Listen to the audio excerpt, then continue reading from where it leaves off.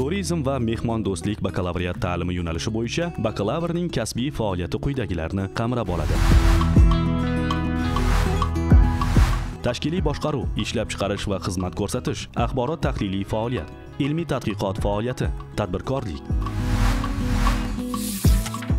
Davlat va nodavlat tizim va mehmondo'stlik sohasidagi tashkilotlar kompaniyalar firmalar ishlab chiqarish boshqarmalari ishlab chiqarish birlashmalari va boshqalar xalqaro turizm va mehmondo'stlik korporatsiyalari xizmat ko'rsatish tarmoqlari mehmonxona komplekslari sog'lomlashtiruvchi maskanlari tizimning soha va tarmoqlarida tashkilot korxona va muassasalari turizm va mehmondo'stlik sohasida vaziyatli va tizimli yondashuv tamoyillarini tatbiq etish davlat va mahalliy boshqaruv qarorlarini amalga oshirish jarayonlari turizm va mehmondo'stlik sohasidagi tadbirkorlik subyektlari turizm va mehmondo'stlik sohasidagi xalqaro zanjir tarmoq va mahalliy firma va kompaniyalar shuningdek turli mulk shaklidagi xizmat ko'rsatish korxonalarini boshqarish ilmiy tadqiqot muassasalari va mahalliy davlat organlarida iqtisodiy faoliyatni ta'minlash turizm va mehmondo'stlik sohasi bilan bog'liq ishlab chiqarish va xizmat ko'rsatish muassasalari.